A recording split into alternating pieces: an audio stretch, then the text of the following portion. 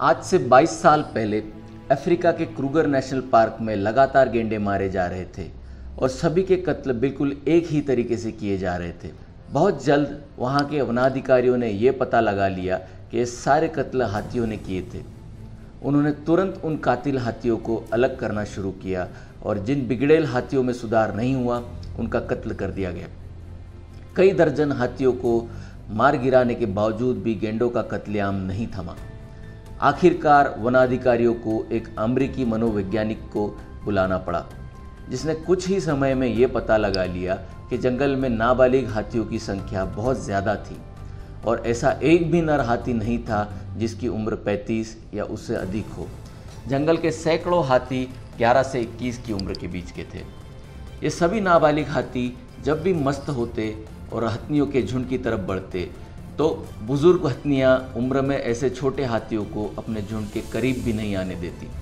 अपने कमज़ोर शरीर के रहते उनके सामने गेंडों के साथ शारीरिक संबंध बनाने के अलावा दूसरा कोई रास्ता नहीं था।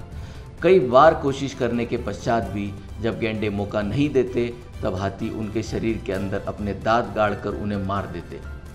लगातार इसी तरह 800 गेंडे मारे गए और तीन साल तक ये सब होने के पश्चात वनाधिकारियों ने मनोवैज्ञानिक तज्ञ की सलाह से नज़दीक के एक नेशनल पार्क से कुछ 50 से 60 की उम्र वाले पाँच बुज़ुर्ग हाथी क्रूगर नेशनल पार्क में लाकर छोड़ दिए, जिसकी वजह से नर हाथियों में एक पारिवारिक माहौल बन गया और जंगल में उसके पश्चात ऐसी शांति छाई जैसे कभी कुछ हुआ ही न था। आज बिल्कुल ऐसा ही Bharat, Pakistan, Syria, Afghanistan, Nigeria Congo Liberia और कई दर्जनों देशों में हो रहा है।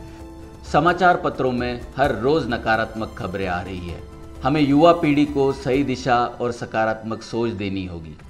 क्रूगर नेशनल पार्क की तरह हमें अपने देश में भी बड़े बुज़ुर्गों का सम्मान स्थापित करना होगा। जिनके अपने लड़के नाबालिग है, ऐसे पुरुषों को सोशल मीडिया का इस्तेमाल सोच समझ कर करना चाहिए।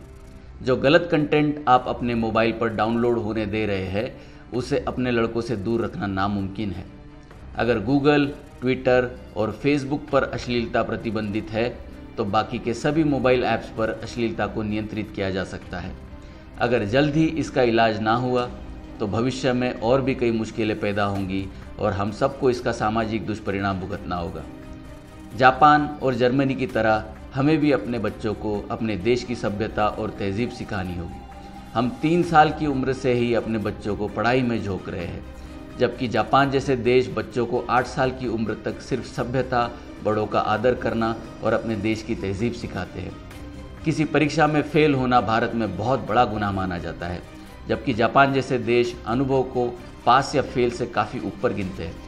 क्या हम भारत में भी ऐसा कुछ कर सकते हैं कि हार या जीत से ऊपर हो उस व्यक्ति का अनुभव और सबसे ऊपर हो भारत की तहजीब? जय हिंद।